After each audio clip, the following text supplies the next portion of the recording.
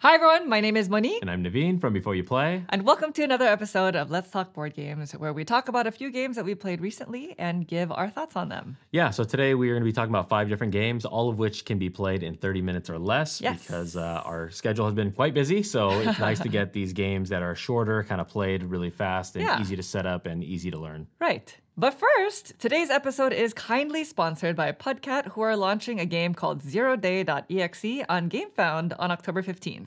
Welcome to the future, where a vindictive AI has taken over and now a renegade crew must fight through battalions of bots to survive. In ZeroDay.exe, players take on the role of one of eight unique characters and fight to reclaim the city of Shijima. This is a fully cooperative roguelike dungeon crawler in a cyberpunk style setting where players will be required to download hacks to add to their decks, attack enemy AI robots and scavenge them for parts to build mods and items, and complete operation specific objectives. The game features hand management and deck building, as well as deterministic combat that requires tactical decision making because in this game, there's no dice rolling or card flipping.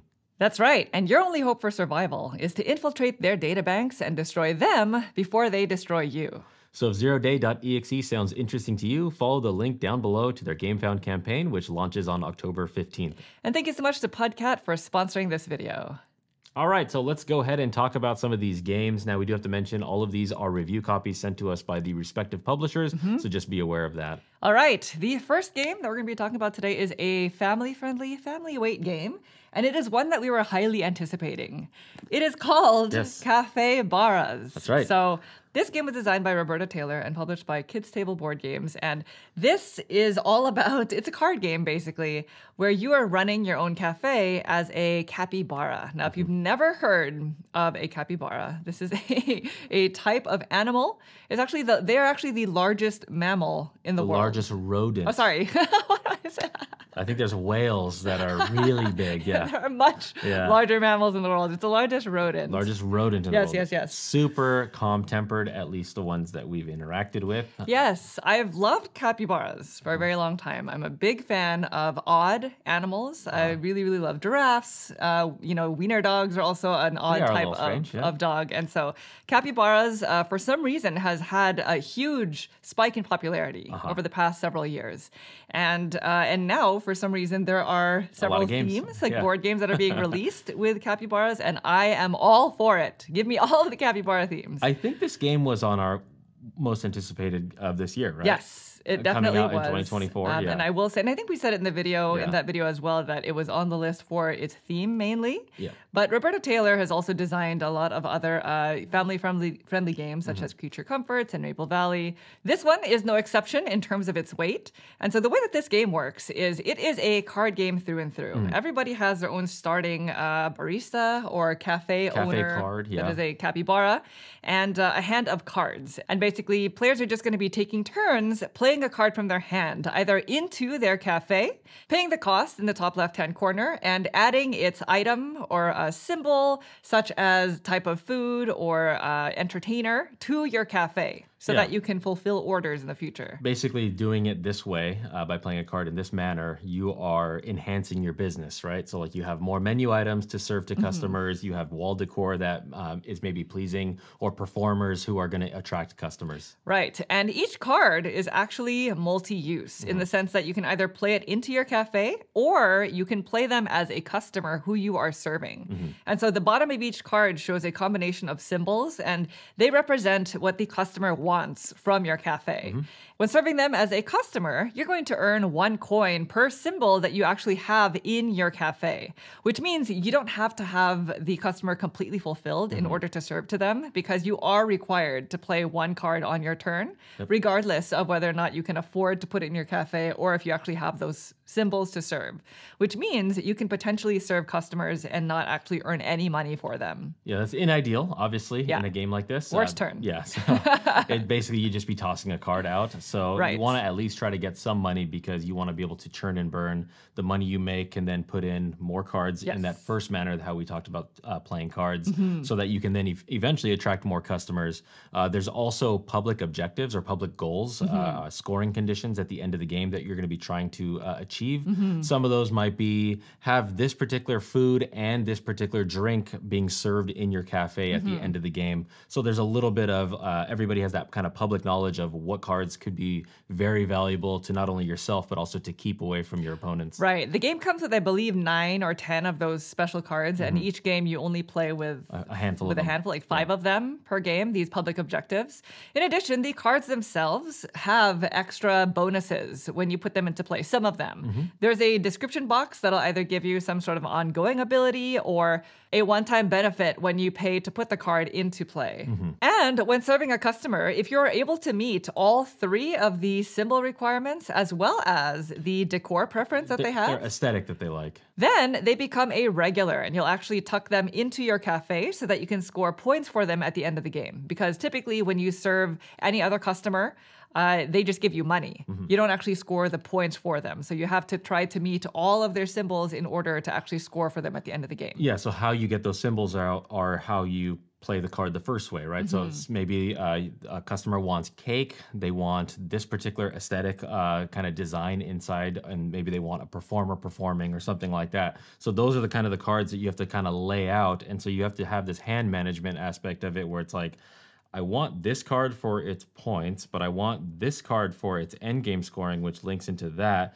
And this card is part of the public objective, so I have to just basically decide with the cards that the four cards that are in your hand how am I going to get the right symbols in play so that I can satisfy the right customers at the right time? Yeah, that's essentially it. Mm-hmm. And uh, these regulars, by the way, are the timer for the game. So as soon as uh, one player has acquired a certain amount of them, I yeah. think it's depending on player count. That's right. Yeah. Okay. Then that is one of the ways in which the game can end. And at the end of the game, players will score points for the cards in their cafe, as well as the regulars that they have, and the public scoring objectives. Yeah, that's one of the two ways a game can end. Also, if you go through the entire stack of, of cards mm-hmm. multiple times after shuffling through, yeah, then that the can second end it. time. Uh, in a two-player game, you're typically going to end it uh, by, by having regulars. Yeah, yeah, exactly. So I enjoyed this one, lived up to my expectations. A light card game that uh, has just enough decision making, mm-hmm. something as simple as which card do I play for decor and for need for having symbols out, mm-hmm. which card do I draw back up in order to not only enhance my ability to score,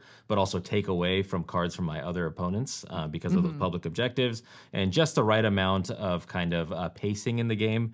Uh, it never overstayed its welcome in our plays. Yeah, that's exactly it. It's very, it is very light. This is definitely a family weight game, but it mm-hmm. does play in about 30 minutes. It's very cute. Like the illustrations, the artwork for all of Roberta Taylor's games are amazing. Yeah. And this is no exception. But it's exactly what Naveen was saying. It just has just enough to make it uh, crunchy enough where you're actively thinking, like, huh, which cards do I keep? If I play this, it's not, you only have like four cards in your hand at any given time. Mm-hmm. And the economy can be a little bit tight. So yeah. not having enough money to pay for a card being put into your cafe can be problematic, but you need to have the customers to serve in yeah. order for you to gain more money, but also you're keeping in mind the public objectives. So there really is just enough there for you to be like really, yeah. you know, thinking throughout it. And I also I don't think we mentioned it. Uh, some of the cards they have variable scoring depending on yes. what else you've set up in your cafe. That's, that's right. something that's also very important to think about when mm-hmm. you're trying to take and draft cards mm-hmm. because you might find yourself in a conflict with the public objective where it's like I need to have eight coins at the end of the game, mm-hmm. but I mm-hmm. really need to spend my coins to get this in because I'm going to get a bigger multiplier on scoring yeah, uh, for something else. So there's a lot of little, little things in there, again, in a 30 minute package, which yeah, is always nice. It definitely uh, treads that balance between very being very, very simple. You know, on your card, on your turn, sorry, you're playing one card. Mm-hmm. That's it uh, but also having multiple things that you're trying to consider. Yep. So that's pretty much it. But uh, if you are curious about the age range, it is a two to four player game, and uh, apparently it's eight and up, eight and up in terms of age. And I think that's about right. Yeah. So, anyway, that is Cafe Baras.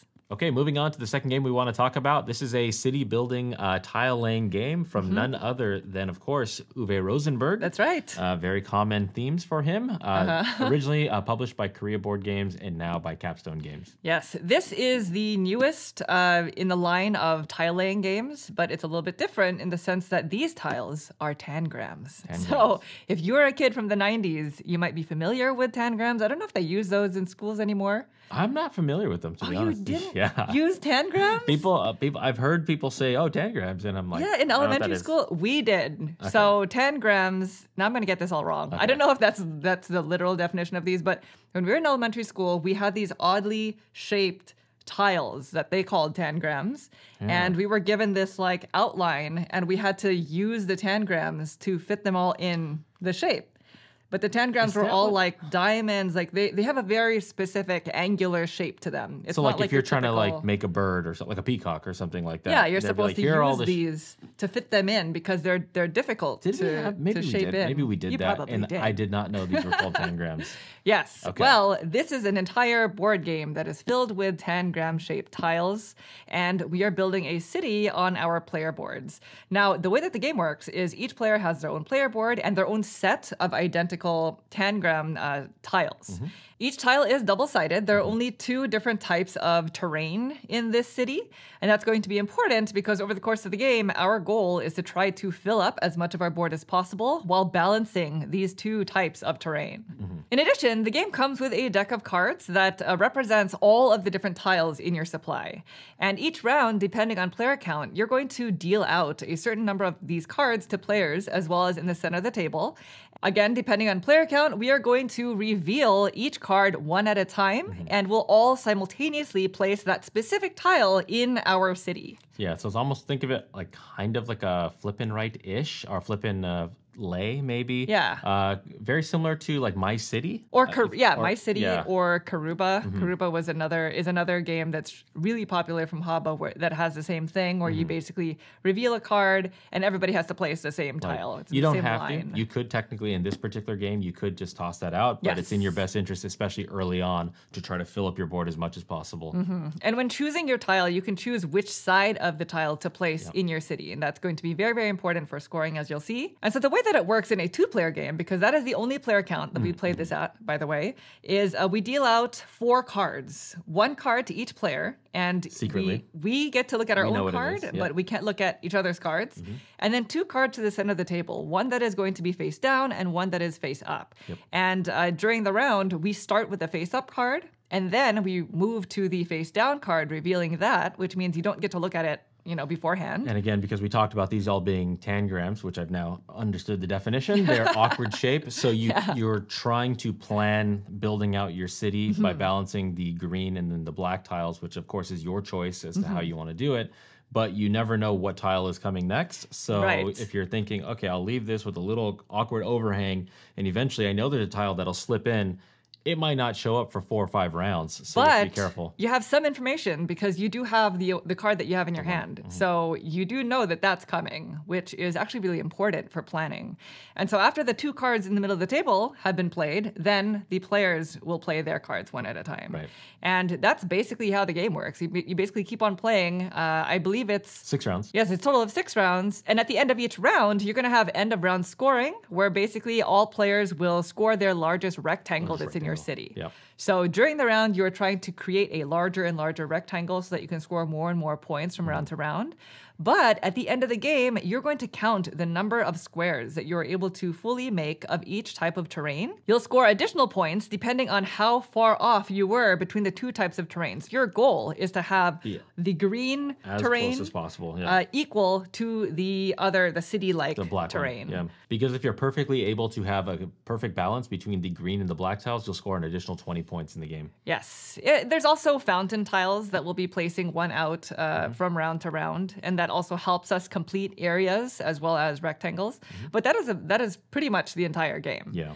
So this is probably the lightest of all of the tile laying games that we played from Uwe Rosenberg. Mm. Now, if you're not familiar, we we have done an Uwe Rosenberg series in the past. We've chronicled all of his tile laying games as many to, as possible, I think, up yeah. to the point of wherever we, we were are, at yeah. at that time. Yeah, like we haven't covered Applejack. No, uh, that's one I still want to play. Yes, yeah, yeah, we haven't played that one, but uh, we've also done all of his big box stuff, and so we are not going to be doing a playthrough of this. It's going to be impossible for us to just do all playthroughs of his games games forever. Yep. But of course, we wanted to talk about it mm-hmm. because we've played it a oh, couple of times. And so, um, like I was mentioning, this is the lightest that I've experienced, at least, of all of his uh, tile laying games because it really is as simple as that. Mm-hmm. Like, we're just going to be revealing a card and everybody plays uh, their tiles. But I think the the Uwe Rosenberg aspect of this is the complexity in the shapes, the balancing of the terrain, the tangram, and the turn order. Yeah. So the fact that, especially in a two-player game, you know, Uwe Rosenberg likes to. It, it, seems like he likes to do things with turn order. Mm-hmm. You know, mm-hmm. we saw that in games such as uh, Oranienburger Kanal or uh, Nusfjord, or even. And in Le Havre. a two-player game, it's only seven turns, but one of you is going to get three, one's going to get four. Right. So the turn order aspect adds to the strategy or the thinking, mm-hmm. and in in such a light game like this, that definitely comes into play. Yeah. Uh, this particular one, though, um, even though I I kind of enjoyed it, but I also kind of didn't at the same same time. Mm. Um, the idea of trying to balance the green and black, it seems like I wish there the the there was penalties for not being able to do it mm-hmm. because um, getting just a large rectangle and then constantly scoring it for six times mm-hmm is way more points than just trying to get you know the 20 uh, at the end at the end you want to do both yeah you want to do both thing. but um the mo like in our games we were scoring in the mid hundreds so like 150 160 so the balance aspect of it to nail it perfect was 20 points versus having just a large rectangle round mm-hmm. after round after round accounted for about 130 of those points so mm-hmm. the balance kind of seemed a little off um I don't know. There, there, there's the part of that that uh, just I wish there was a little bit more punitive damage for not being as close, and so you really had to focus on it. You know, he wants the Agricola version. Maybe, yeah. I don't know. Um, no, I, I, hear you though. This one definitely fell flat for me, uh, just because I don't know if it's it, it's very simplistic. Like mm-hmm. you literally are just putting out a tile. And the, the, the critical thinking there is, ooh, which areas do I want to leave for these really odd shaped tiles? And I, f- I felt like I wanted to enjoy the balance aspect of it a little bit more, more right? than I yeah. did. But in the end, it was a little bit too lackluster, I guess. Yeah, it, it was fell flat. In the first game is when I realized it about like round three. It's like, oh wait, I've I've already scored like 60 points, but my balance at the end of the game is the max I can get is 20 points. Mm-hmm.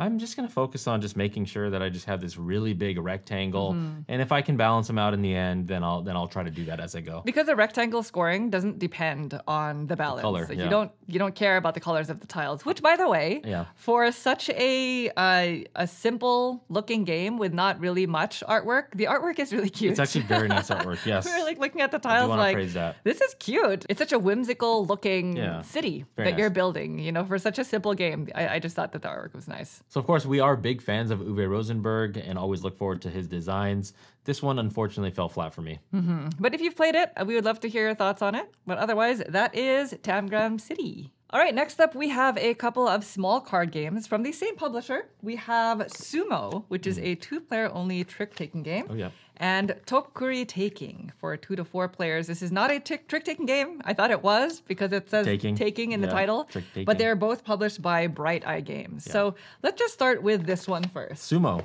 Sumo. Ah, yes.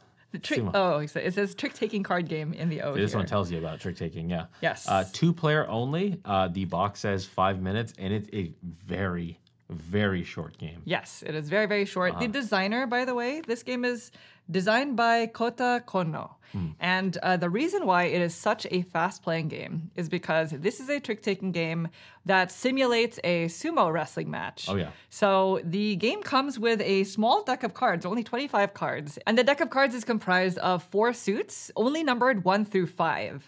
So the 25 cards are actually 20 playing cards yeah. and then five cards that represent the sumo ring, the wrestling ring. Yeah, you kind of construct, you just put a couple cards together and it constructs the ring. And so the way the game works is each player is dealt a hand of eight cards. And so four cards will not be used in the round. Mm-hmm. And before you actually start the trick taking aspect of it, the game starts by players di- uh, trying to figure out who's going to go first. And the way uh-huh. that that works is each player will simultaneously play a card face down from their hand hand and then reveal it at the same time. And whoever played the higher number is going to be the lead player. Mm-hmm. But if nobody plays a higher number, if we just play the same number regardless of the suit, Then we do it again, and we keep on doing it until somebody does play a higher number, uh-huh. which means you can uh, play out your entire hand and not actually f- have a lead player, yeah, so in which like, case you would start over. So if we both played a three, and then we're like, okay, we both played another three, yes, okay, and then we somebody then played a five and a four, then mm-hmm. it's like, mm-hmm. okay, whoever played the five you are the first player. All the cards played are out of the game. Yes. Yeah. They stay on the table. On the table. They do yeah. not. You do not replenish your hand. No. So whatever you have left in your hand is what you actually get to play with. Mm-hmm. So then, once a lead player is determined, then the trick taking aspect starts, and it is played like a standard trick taking game. The lead player will choose a card from their hand and play it face up, and then the other player must follow suit if they can, yep. and if they can't, then they play any card from your hand. And keep in mind that at that point, your hand is very small. Like you only have a few cards left. So you have the eight you started with, yeah, the cards that you are flipping, mm-hmm. uh, and that's pretty much it. Yes, and I yeah. think that is by design yeah. because you really want to be critical about specifically which card you are playing. There is a lot of card counting in this game. There is a you lot of need card to card count in this game. Yes, and so the way that scoring actually works is who after the two cards have been played, whoever plays the highest card in the lead suit uh, wins that trick, and in the match, you actually move the sumo wrestler cards towards the player who is losing, as if you push them in in the in sumo. So you're, you're getting match. them to the edge of the ring, yes. and you're trying to push them off. So uh, essentially, if you can win two in a row, uh, because it's basically middle, their end, your end. Yeah. And so once you get them from the middle, you try to get them to the edge, and then you want to push them and then off. you push them yeah. off. So as an example, if Naveen were to win two tricks in a row, he pushes the sumo over to my side, and, and then win. the second trick he pushes them off. And mm-hmm. that is the simplest way of winning the game. Now, the thing about this game is there is a reference sheet that includes a list of several sumo moves, like counters. Yes, yeah. counters, and these are ways in which you can just win the game. As an example, if you play a number four against a number one of the same color, then you win. Mm-hmm. Or if you play a number one against a number five of the same color. Or if you play a number two in a different color than the lead color when you're on the edge of the, the the mat, the ring essentially, then you win. And so it's not as simple as you just trying to win two tricks in a row. You you have to be cognizant and careful of these, you know, sudden death uh, moves. yeah, that's where the card counting comes in. So yeah. it's like if you're, especially like at the beginning, you're like, okay, we played three cards out. All mm-hmm. right, I saw my three. I saw your three. I think Monique might have the one brown. Mm-hmm.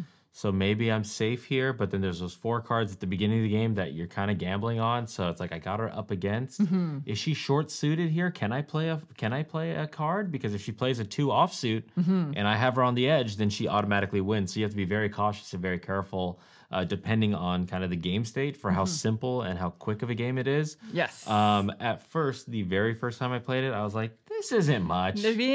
There's nothing going on here. This is what is Oh my, this? Naveen was over it when we played this the first time. But the more and more I understand the counter moves and the the positions that you can be in in for such a quick five minute game, yeah, it's actually pretty entertaining. It is. Yeah. You know, the first time we played it, um, I think somebody had told me maybe that they didn't really care for the game and so i already kind of had this like okay just try to figure it out yourself kind of thing and it's a five minute trick taking game for two players. So yeah. what what could it possibly be like? You know? Yeah. And then when we played it the first time, you know, you don't really have the card counting aspect uh, locked down yet in terms of knowing exactly how you should be playing the game. Mm-hmm. So it it plays so quickly that it kind of felt like that's it. Like you just win. Like how how could you possibly strategize? It definitely was one that after several plays, it's like, oh, oh. It's really a mental game. Okay, it is a mental game. Yeah, you're trying to figure out like, oh, what are the chances that they have this card in their hand? Because four cards are just out of the game. Yeah.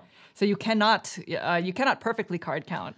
Something as simple as that very beginning, who is going to be the first player? You're getting information mm-hmm. from your opponent yes. when they're playing when the card face up uh, to determine who's going first. It's like, okay, you just played a three brown. I just played my five brown. Mm-hmm. So that means if I play a brown and Monique is short suited in that and she has twos, she can instantly win if I have her up against the edge. So you got to be very, very cautious of those moves. And so it's it's very important to know the five like instant wins mm-hmm. uh, in the mm-hmm. game. So yeah, um, without sure the instant yeah. wins, then it would be very just very okay. Very okay. Yeah. The instant wins are really what make the game, and I think that the game is so it's it's very it's entertaining because it's so quirky. You yeah. know, the theme, the way that they implemented the theme with the trick taking aspect is interesting. The so, fact that you're pushing you know uh-huh. the cards over to your side. So when we went to Japan last year, uh, we actually went to a sumo tournament, and yeah. every time amazing. The, the next yeah, it's pretty amazing. Like every time there's about to be a match, there's this like tension build up excitement yeah and then all of a sudden it's just boom and then it's over within yeah. like it's an explosion. a few seconds and so it, this game kind of tries to obviously emulate that, emulate that in a card yeah. game. Like, okay, it's it not, doesn't. It's okay. not sumo. Like, let's be honest. Yeah. But but that anticipation of like, okay, here's your eight, here's my 8 uh-huh. Who's going first? Yeah, yeah, yeah, yeah. Ooh, okay, I'm going first. Oh, you have okay, that's one green card. Why did she play a green card of all the cards that she could have played? Mm-hmm. Why did she play the three green? Okay, maybe she's trying to short suit herself there. Mm-hmm. So there's all these little little heady things, and so um, I don't know. I, I, I, this is one that I've had a complete 180 on from when we first played it to where I am now talking about it. Oh, that's interesting. I, I, I, enjoy it. This is a good travel game. Now, obviously, this is not like the best trick taking no, game of no, all time. Like, I'm not trying to say that. It's not incredible, no. but it's entertaining, and it's definitely it, you definitely get what you want out of it in that five minute you know what I mean? Like and a five minute gameplay. Like it does what it wants to do. It's entertaining because we play against each other. Yes, that's the other thing. Because yeah, we are yeah, yeah. we are playfully competitive yes. with each other on games Extremely. like this. Even playing something like Mario Kart, we're very competitive. Yes. Playing you know, something like that. So yeah, yeah. it's nice to just like one up the other one when yeah. you think like the most recent time I played, we we played and Monique just got me on one of those instant wins and it was just like yeah, ah. it definitely definitely has those moments. yeah. So anyway, that is sumo. sumo it's a yeah. silly, you know, two player trick taking game, but it is quirky, and I love finding quirky uh, games that are, you know, that that has that gameplay there that's just entertaining enough. So mm-hmm. yep. So there you go. That is sumo.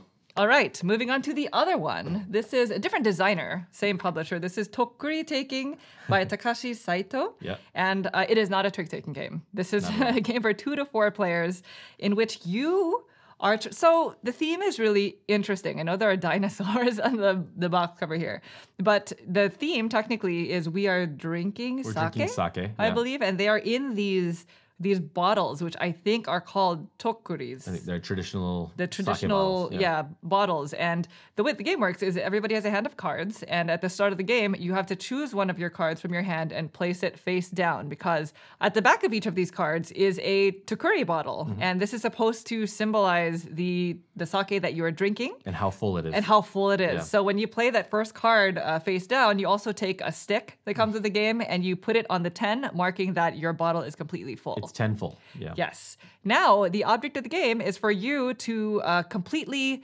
empty as many of these tokkuri sake bottles yeah, as fill possible. Them up, fill them up and drink them. Yes. Yeah. And so on your turn, you are either going to play a card from your hand face down in front of you as another tokkuri bottle, or you're going to play it for the card effect, which is going to be emptying a certain amount of sake or drinking, mm-hmm. I guess, a certain amount of sake from a certain number of bottles. So for each number that, that is showing on your card, you must be able to empty exactly that amount mm-hmm. from one bottle. So you might have a card that says five plus five. So that means one bottle, you must be able to empty 5 mm-hmm. And then from another bottle, you can empty another five. Right. You cannot uh, split that up. So if I have a bottle that has four and another one that has one, I cannot say four of the five is one and one is to make it the total five. Correct. Hope that makes sense. In order for you yeah. to completely drink the bottle, you have to nail it exactly. Nail it, so yeah. if you only have two left on a bottle, then you have to play a card that has a two at some point right. somehow.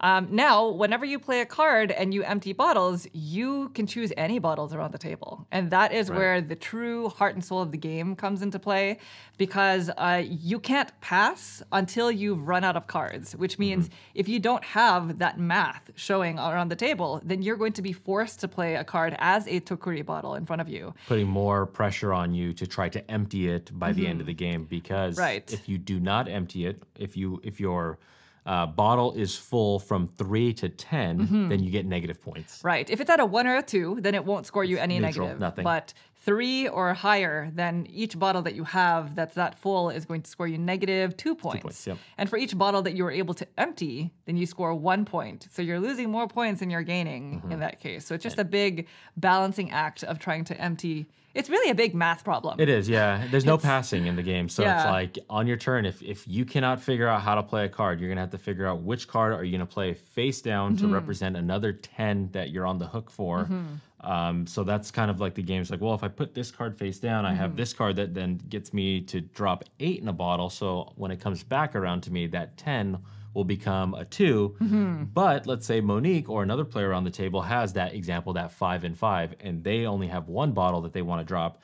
Then if they drop my 10 down to a five and now it comes back around to me, that eight I was planning on using on my bottle yeah. is no you, longer no there longer mathematically. I cannot go beyond zero. So right that's where kind of like the cleverness and kind of the quirks of the game go. And that's what it feels like to play it. Mm-hmm. You know, at the start of the round, you look at your hand of cards and you're basically thinking, what kind of math can I do to add up to 10 so that I can completely empty out my bottles without helping my opponent? Mm-hmm. And which cards will I be playing face down? There are also some uh, cards that have extra bonus effects, like some cards will require uh, players to pass a card to the player on their left, yep. stuff like that. There's a, but, one, there's a one card that is uh, you cannot play this card in, unless it's the very last card in your hand. So right. that's kind of like a hot potato card that you're like, I don't want this card because if it's my last card, then I have no way to empty that 10. So I need to find a way to pass that card right. to somebody else. There are also dummy Tokkuri bottles where you can only play it as a face down bottle, but if you empty it, it doesn't actually score you a point, yep. but it still counts against you if you were unable to empty it.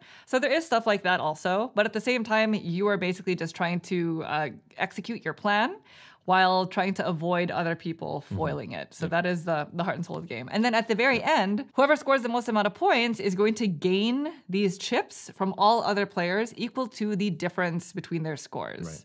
And that's how you determine the winner of the game. You pretty much can continue playing rounds until one player has completely Somebody's run out of chips. Out. Yeah. So that's essentially it for mm-hmm. Tokkuri taking. Now, I will say, um, it's not the best two player game. I don't, I don't think so, yeah. Unfortunately, that is the only player count that we are able to play it at. Right, right. So keep that in mind. It plays two to four players, 15 minutes on the box. Um, two players, uh, because you want to have more math cards out there in mm-hmm, play. Mm-hmm. In our two player games, uh, some of the cards that allow you to pass particular cards to other players yeah. or move cards around and draw more cards up they're just not in play as much, mm-hmm. um, are potentially not in play as much. So like there was one round where I got stuck with several of those dummy bottles, and I we never had a card that said pass a bottle to mm-hmm. somebody else. So it was just kind of like I'm stuck with these. I'm on the hook for these, but I have to play these face down. So then yeah. what's left in my hand is the math that I can finagle here. So it it can feel very lopsided in kind of one way. Yeah. I, I think this game is definitely probably better at three and four. I think so. Yeah. I think it's. I mean, I don't necessarily think that it's bad at two. It's just I didn't enjoy it as much at yeah, two. I, I think it, it's probably more strategic. Um, but I don't think that's the point of the game. The point of the the point of the game feels like the aspect where you can lower everybody else's bottles and having to deal with that chaos. Yep. And it's just not as present in a two-player in a two-player game. game. Yeah, especially with the passing of cards to each other. It's just like, well, here's the card, and then yeah. there was one time uh, we played it where it was like, here's one card, and then you passed me, and then we had another pass, and it's like, well, here you go back again. It's like, well, that just undid everything that we. Yeah, and then the the scoring at the end in a two-player game, just like just, giving all your chips yeah. to one player constantly. Yeah, it's just I don't know. I would recommend it at higher player higher, counts if yeah. you're going to try it, but it is a fast-playing game. It is also quirky like the sumo game, but I found the sumo game to be much more interesting, mm. especially at two. You know, this one has a cute theme. It has cute artwork, and they're very different games. I don't actually mean to compare them. They're yeah. very they're separate games, but this one fell a little bit flat. I think for me. I think I like the potential of it more than than you do. Mm. I, I, actually really want to play this at the full four and then mm. maybe give an, an, update as to how I felt about it. Uh, so I'm gonna try to bring this to like our local convention or something and force people to play it with me. It is very fast yeah. playing, mm-hmm. but that's essentially it. Yeah. That is Tokkuri taking. Okay, talking about our last game today. This is coming to us from Kosmos, and it is called The Gang. Yes. Now, this is a game that came out at uh, Gen Con, mm-hmm. uh, and it super popular, very popular at yeah. Gen Con. One of those sleeper games. Um, we got to play it there, fortunately, and we are going to talk about it today. Yes, this is a game for three to six players, yep. and it plays in about 20 minutes. And it's designed, it's designed by two people, John Cooper and Kory Heath. Mm-hmm. And so in this game, players are working together. It's a fully cooperative game in order to order the strength of their hands in a poker style game. Yes. So it's based off of Texas Hold'em, specifically the Texas Hold'em style of poker. Mm-hmm. Uh, and by the end of the entirety of a hand of Texas Hold'em, which consists of everybody getting two cards. There's the flop, which is three cards, followed by a turn card, which is the fourth card, and then the river card, which is the fifth. So seven cards total. Mm-hmm. You have to, by the end of the game or end of the, the, the hand, uh-huh. Um, you have to order your hand in relative strength from weakest to strongest. Yes. If you do that successfully at the very end of the round, then you win that particular round. Now, in order to understand the game, you probably need to have some knowledge of poker. poker. Yep. Uh, we're not going to explain that right now. Sure. So, just so you know, for anybody who is familiar with poker, the way that the gang works specifically is each player will have a hand of two cards that you keep secret. Mm-hmm. And before any other cards are revealed, there are these chips in the middle of the table that's going to be, depending on player count, each player is going to take one of these chips, uh, basically communicating to all other players around the table how strong they think their hand is. So if you think, oh my goodness, I'm gonna get like the royal flush, that's a really strong hand, right? Then you would get the you would take that the highest valued number. If you had like two aces, which is the strongest hand in, in, in Texas Hold'em at the very beginning, oh. you would take the highest value star and you would adamantly take it and be like, I'm taking this thing. Yes. So you're basically communicating what you think the relative strength of your poker hand is or your ability to make a solid poker hand. Uh-huh um, at the very beginning by taking these chips. So if right. I have a really strong hand and somebody took that very high value one, I'm I can take that chip away from that person. You can, yes. You can just be like.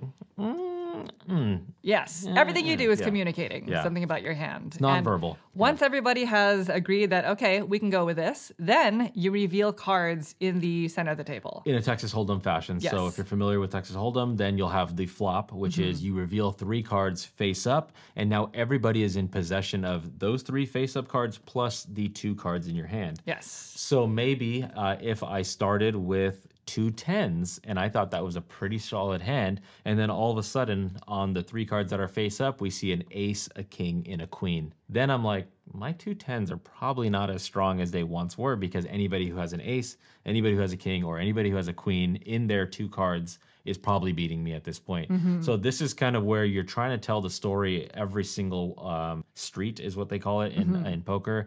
Um, so well, Naveen was really strong at the beginning, but based mm-hmm. off these three cards, he doesn't feel as strong anymore because he took that the very high chip at the very beginning, but now in this turn, he's taking like a middling chip. So mm-hmm.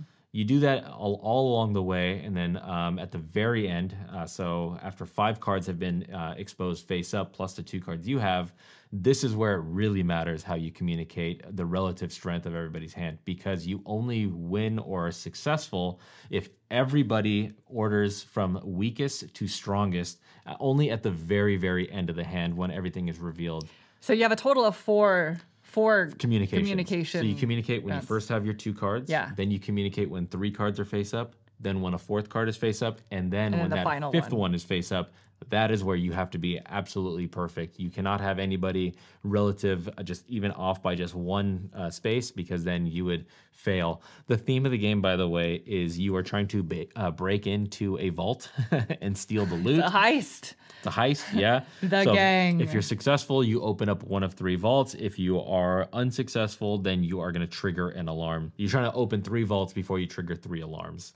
Uh, if you open up a vault, then you're going to get a card that's going to make it a little bit more challenging. Mm. If you trigger an alarm, then you're going to get a helping card that kind of helps you along the way in mm. the next hand. Mm-hmm, so mm-hmm. Uh, the game is played over a max of five rounds, right? Because you can only open three safes and two alarms, or mm. vice versa. Yeah. But that's essentially that's it. Yeah. that is the gang yeah. in a nutshell. Now, the first time I heard of this, I thought for some reason that it was going to be a follow up of sorts to The Crew. That's what they were. Because they were kind of pitching at that at Gen Con. In a way, it is. It's not trick taking. It's definitely it's no. Sorry, yeah. it's not. It's not a follow up to the crew at all. This is no. not trick taking, but it is sort of the same small box style, fully cooperative uh, sort of game, mm-hmm. right? That's that's where the similarities end. like this is a entirely different game. Yeah. Um, now I will say that I've only played this once. Naveen has played it way more Several times. times, yeah. And uh, this one is really. this is not a Monique game. this one's not unfortunately. For me. Now the thing is, I don't know poker.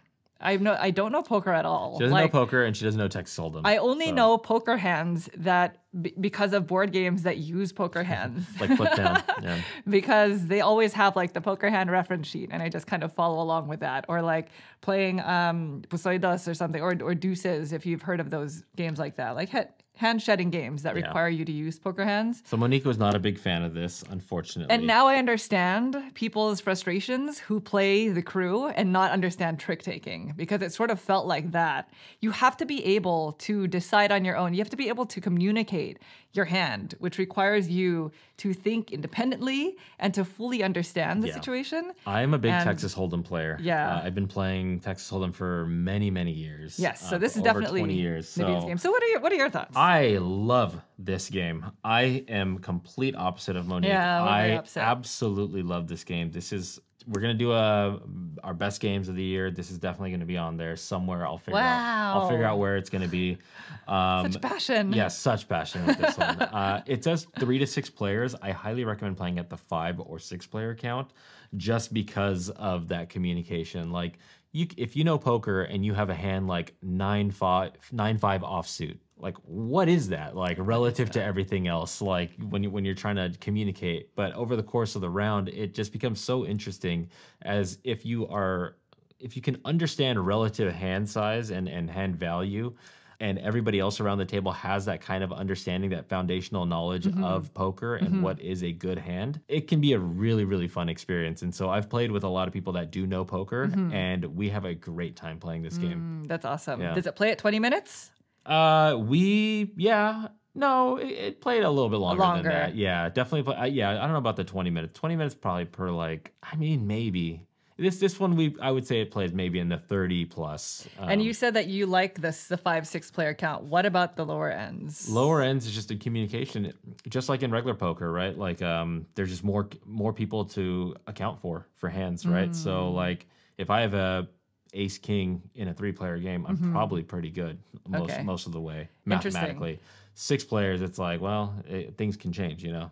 Now I will say, uh, you know, take everything that I had said with a grain of salt because I don't know poker, like I said. But I will say that for people who don't know poker, you might fall into the same position that I did, just because like I felt I felt very lost when I was playing the game. If you don't know poker, um, and Texas Hold'em is a very specific style of poker, Hmm. Knowing your relative hand in a five or six player environment is going to be kind of tough because there was there was times I have played with people who don't know, um, and then they'll reveal their hand at the end. I'm like, oh, that was actually it's actually kind of a strong-ish hand, mm. especially like with these options. And this is kind of what your hand can become, mm-hmm. you know, mm-hmm. over the course of the round as more cards get revealed but you wouldn't know that if you know if, if you're not a, a yeah. poker player slash right, a Texas right. Hold'em player. So there is definitely that kind of like learning curve that mm-hmm. would have to kind of be learned along the way. But it's kind of like hard, it yeah. is kind of like the crew playing yeah. the crew and not knowing, not understanding trick taking. Like that is a that is a tough position to be in. At least early so. on. But once I guess once you see the flow and understand it, then like you can get